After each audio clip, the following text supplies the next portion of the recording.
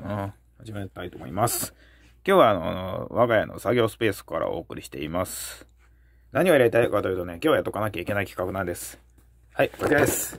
エクストリーム J ロックビッシュ編楽器を持たないパンクバンドということでやっていきたいと思います。ビッシュがね、あの、紅白歌合戦出場します、今年。プロミス・ザ・スターを歌うんだったかな確か。あの、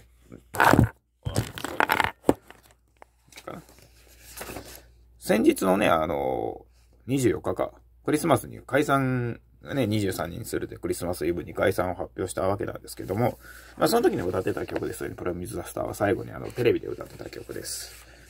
ビッシュっていうのはそもそも何の略かというとね、 Brand-new idol SHiT の略がビッシュ。その前に BiS っていうね、ビスっていう、あの、やってたんですよね。同じ事務所でね。まあその公認として今、ビスはまたね、ビスとして生まれ変わってますけども。でそこにもともとあの、ファーストサマーウイカさんとかその辺がいたとか、そういうことだったりします。新生クソアイドル。で、クソだから、アイドルのことを、アイドル、ね、クソアイドルってことなんで、ファンの名称が清掃員なんです。僕初めて見たとびっくりしました。清掃員ってなんだっていうね。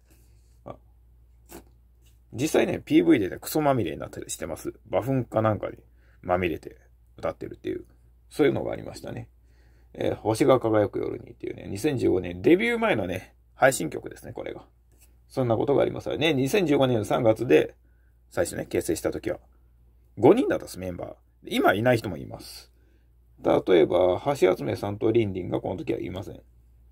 で、代わりにハグミーさんで、まあ、結構最近までいた人なんですけど、で、それともう一人、ユカコラブデアックスって人がいたんですけど、この人は数ヶ月で抜けちゃったんで、実質ほとんどみんな顔も知らない人と。今なんかでもソロで活動しています、この人も。あの、みんなね、結構ソロで活動できるような人ばっかな。まあもともとね、そうやって集めてきた人たちなんで、そういうことになるのかなって感じなんですけど。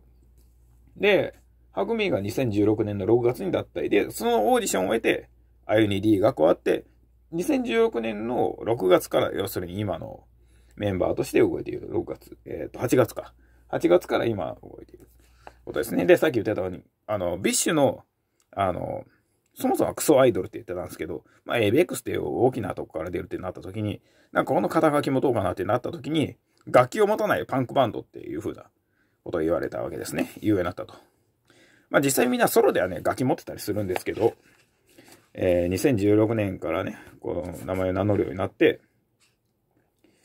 で、アイナさんね、2016年の末からね、翌1月にかけてちょっとね、休んでます。喉痛めちゃったんですね。やっぱりあの歌い方ってのはすごく体力も削るんじゃないのかなと思います。あれは。でも、やっぱ僕はアイナさんの声聞いて、ああ、すごいなと思って、なんか。ウィッシュってもともと知らなかったんですよ、名前しか。あのー、死にたい夜に限ってって曲の、なんか、PV がテレビで流れてて、それで、なんでこの人と思って、そこからずっと惹かれちゃったっていうことですね。で、そのアイナジエンド、現メンバーね、アイナジエンド。で、担当が、担当がね、みんな決まってるんですけど、担当がよくわかんないっていう。アイナさんだったら、送り人担当で、ファンの相性はジエンダー。で、セントチヒロチッチは、見た目は真面目、中身は悪女。これでも彼氏は二人まで。ってことで、えー、が担当ね。で、チッチキャップスっていうのが、ファンの名称、相性であると。で、あゆに D さん、最近入ったと。ね、一番最近入ったメンバーで、僕の妹がこんなに可愛いわけがない。で、が担当で、ファンの名称は、お兄たんずと。まあ、妹なんでね。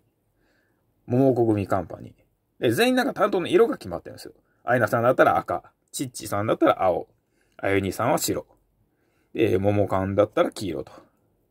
で、桃子組カンパニーさんは、例えば、担当は、また天の弱ということで。で、桃子組っていうのがファンの名称であると。橋休め敦子さん、担当メガネ。いや、もう、メガネなんです。で、あのー、あれ、伊達メガネかどうか僕よくわかってないんだけど、あの、橋休めさんの声も僕は結構好きです。なんか、聞いてると、すごくなんか、伸びのある声でなんかいいですね。あれなんか、2番目に好きだと僕はなんか橋休めさんです。で、まあ、担当メガネ。何それっていうことなんですけど、で、担当のね、そのファンの相性っていうのは、ハシックスっていうこと。で、リンリンさんね。リンリンさんは無口担当。何それっていう。あのー、なんか、音楽番組に出た時もいじられてました。無口が喋るな、みたいな、ちょっと、ややこしい担当なんですけど。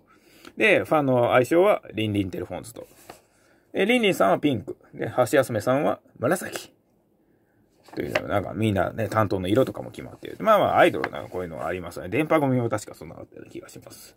で、楽曲っていうのは、あの、ね、サウンドプロデューサーでもある、その、松隈健太さんっていうのがね、担当して作詞もやってたりするんですけど、ビッシュのすごいところどこか。あの、まず一つ目。振り付け、誰がやってると思うんです？アイナさんがやってるんです。ほとんどの振り付けはアイナ・ジ・エンドさんが担当している。もともとダンサーですから、彼女は。担当している。まあ、もともとはでもね、何でこうなったかっていうと、とにかくお金があんま使えないと。予算不足を補うためにやってたことが、まあ逆に今のあの独特なビッシュの振り付けの元になっていったと。そういうことなんですね。で、一部の楽曲の作詞作曲っていうのはメンバー自身がやってるんですけど、これなんと全員やってます。辞めていったハグ・ミィさんはもちろんのこと、最初数ヶ月で抜けちゃったユカコラブデラックスさんの作った曲っていうのもあります。それが今ね、あの、ライブでは定番曲になっているモンスターって曲だったりとか。僕の好きな曲ね、3つね、とりあえずベスト3あげました。まあ3番目にあげたのはこのね、リズム。これはね、この間のアイナさんのソロのコンサートでも聞いたんですけど、で、これは曲をアイナさんが作って、桃国みカンパニーさんが作詞をしているということ。で、2番目。まあ、僕はこの曲から入ったってこと、思い入れがあったりします。オーケストラ。これは松隈さんが作詞作曲した曲で、最近、まあ、って言っても去年ぐらいかな。あの、ファーストテイクでね、アイナさんが一人でこの曲を歌うっていうのがありました。Spotify にもその曲上がってますんで、皆さんよかったら見てみてください。で、一番好きな曲は beautiful さって曲なんですけど、これ作詞はリンリンさんなんですよね。だからそういうことではなんか、すごくね、バランスの取れたというか、すごく無二のアイドル集団だなというふうなことを思います。で、その他で言うとね、あの、写真撮影が OK です。あの、ライブでね。結構みんな写真を撮ったのをバーって上げてるのはそういうことです。動画はダメです。で、チケットの種類が豊富であると。で、マンチケっていうのがファンクラブで売ってたり、なんかそのバックヤード入れたりとかそういうことがあったりする時もあるようです。で、某トーク番組ね、ですでおなじみのあの人がいたね。でも、その人いなくなった後ですね、多分。ホトちゃんだけで回してる時もうホトちゃん言うてもうた。えー、っと、で、この時にね、2019年10月ですか、多分もう、奴はいない時なんですけど、まあ、特集が組まれましたと。え、千鳥のノブさんだったり、ノブコブの徳井さんだったり、タイムマシーン3号の関さんのデブの方かな確か。がいたと。まあ、確かに癖がすごい。この、ビッシュっていうアイドルは癖がすごいと。そういうことでございます。ビッシュね、あのー、後半に出るんでね、よかったら皆さん見てあげてください。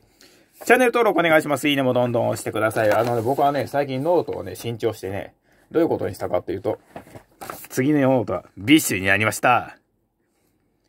もうにわかじゃないですよ、僕は。ではでは、ジエンダ